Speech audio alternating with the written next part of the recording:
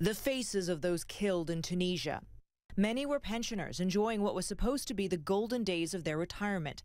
72 year old Bruce Wilkinson had liked Tunisia so much, he came back again. In a statement, his family said he was a kind and compassionate man with a dry sense of humor, a devoted husband, father, and grandfather. Lisa Burbidge, in her 60s, leaves behind four grandchildren. One of them posted this tribute on Facebook My angel, my best friend.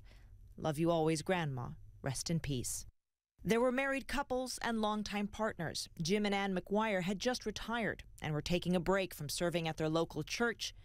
They were gunned down on the beach. Stephen and Cheryl Mellor sheltered together and told each other, I love you, before the gunman turned on them. Cheryl survived with gunshots to her arm and leg. Stephen, who tried to block the bullets, did not. Others were with friends, enjoying a hard earned break. Trudy Jones, 51, was a care home worker on holiday.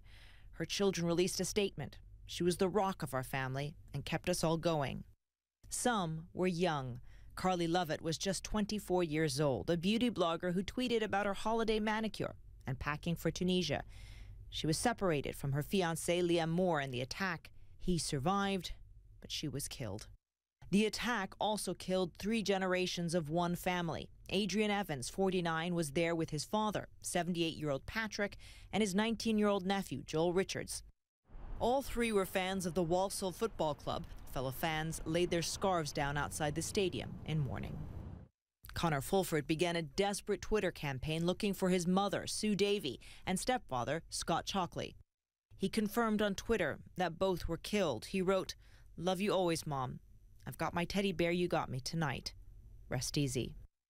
There are sadly too many victims to name, and more remain injured in critical condition.